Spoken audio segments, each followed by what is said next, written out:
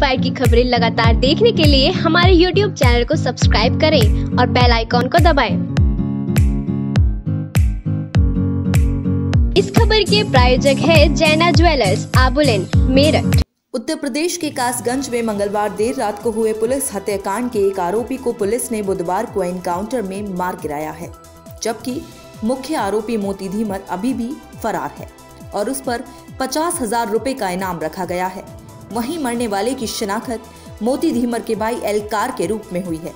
दरअसल, ये पूरा मामला कासगंज के गाँव नगला धीमर का है। मंगलवार की देर रात को गाँव नगला धीमर में सिपाही देवेंद्र और दरोगा अशोक मोती धीमर नाम के बदमाश को वारंट तामील कराने गए थे। लेकिन बदमाशों ने यहाँ उन पर जानलेवा हमला कर दिया।